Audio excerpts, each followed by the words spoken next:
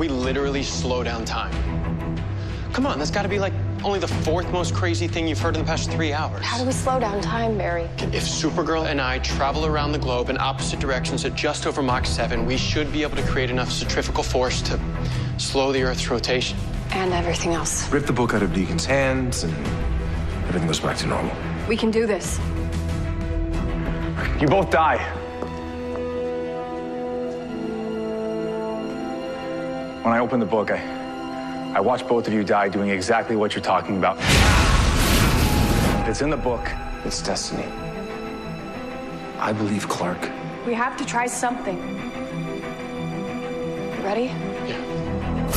Kara! Where are you going? I have an idea. Just get the book. And Barry and Kara?